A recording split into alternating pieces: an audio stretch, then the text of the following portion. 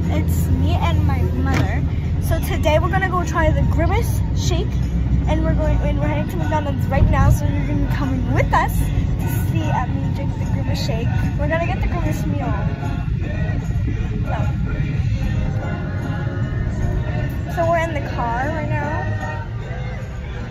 Like my earrings, guys. So we're heading to McDonald's. McDonald's.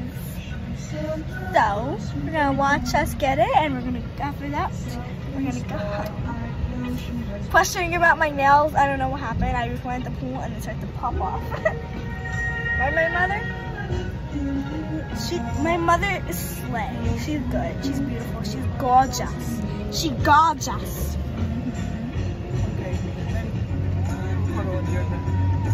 Okay, guys. So that's all I had to tell you. But I'll I'll record another one. So, so I can show you drinking the Grimace shake. Just to let you know, guys, nothing really happens when you drink it. Because my grandma had it and nothing happened to her. So if you see people like drinking it and like passing out, that's all fake. You're just using it to get viewers. So don't believe it. You can try the Grimace shake. It will try. It will turn really good.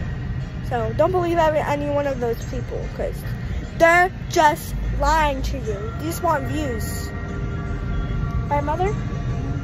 So don't. You can go try the Grimace shake. It's perfectly fine. You're not gonna get a heart attack. You're gonna be fine. So make sure that you can go try the Grimace shake if you want to. If you don't want to, that's fine. Right, mother? It's your choice. But really nothing happens. You can go look it up on Google, nothing really happens cut it because if it's too long, you're not gonna be able to put it. in. Yeah, I forgot. Okay, make sure to like and subscribe. Bye.